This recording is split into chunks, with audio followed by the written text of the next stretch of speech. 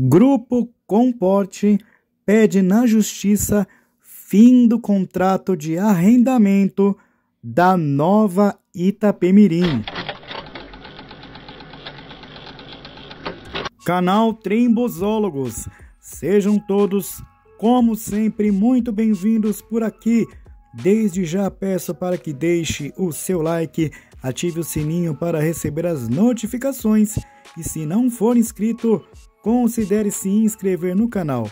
Não deixe de acessar também nossas redes sociais em outras plataformas.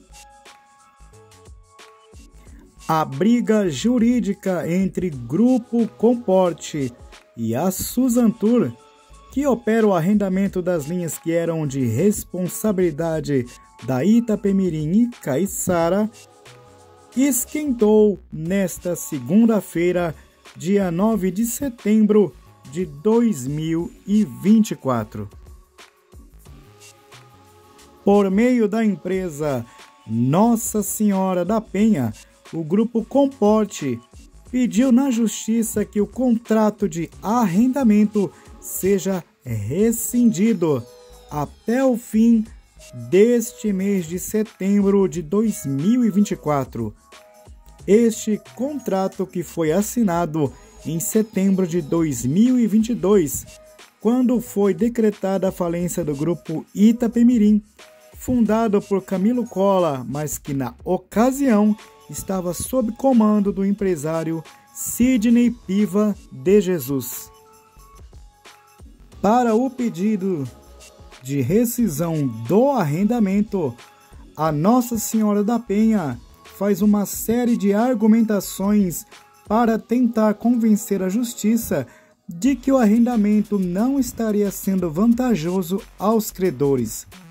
Uma dessas alegações é de que a proposta da Suzantur para depósitos mínimos mensais no valor de 200 mil reais, mais 1,5% da receita bruta, não foi a melhor na versão do Grupo Comporte, que saiu em defesa de outras companhias, como Viação Garcia, Viação Águia Branca e Viação Rio Doce.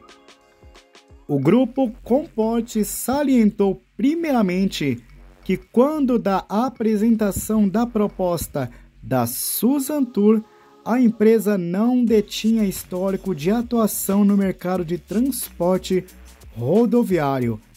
Era atuante apenas no segmento de transporte urbano de passageiros, o que por si só já seria um indicativo de que talvez a empresa não fosse a mais indicada para assumir as operações da massa falida. Alegou também que outras empresas com expertise no transporte rodoviário interestadual de passageiros ofereceram propostas melhores e que teriam condições de assumir imediatamente as linhas da massa falida. Empresas como Viação Rio Doce que ofereceu um valor mensal de depósito em 45 mil reais, em contrapartida à exploração de 11 linhas das empresas componentes do grupo Itapemirim. Viação Águia Branca, empresa que ofereceu pagar um valor mensal de 250 mil reais em contrapartida a exploração de 28 linhas das empresas componentes do grupo Itapemirim. Outra empresa com ampla experiência no transporte rodoviário interestadual, Aviação Garcia Limitada, também apresentou proposta de arrendamento dos ativos em condições muito mais vantajosas para a massa falida da Itapemirim. Porém, por motivos que se desconhece, tal proposta não foi sequer considerada a pedido da requerente. Segundo Fernando Fleury, da consultoria Almeida e Fleury, realizou-se um estudo comparativo entre o desempenho da Tour e os valores que adivinham a massa falida caso o contrato de arrendamento tivesse sido firmado com a Aviação Garcia, que ofereceu pagar 1,65% sobre a receita líquida da venda de passagens do transporte rodoviário.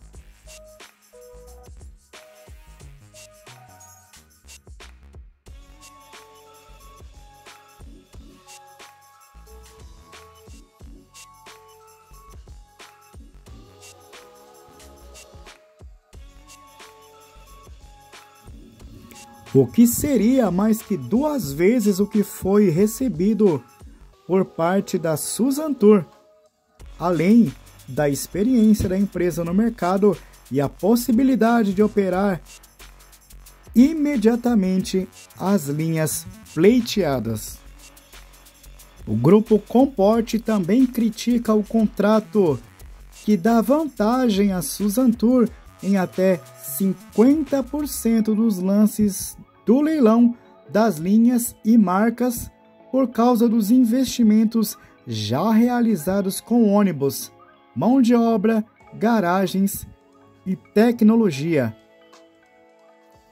Já a Susan Tour cita que já transportou cerca de um milhão de passageiros, dos quais quase 100 mil foram gratuidades percorrendo mais de 25 milhões de quilômetros e que rendeu aos credores das antigas administrações quase 5 milhões de reais apenas com pagamento de mensalidades previstas no contrato.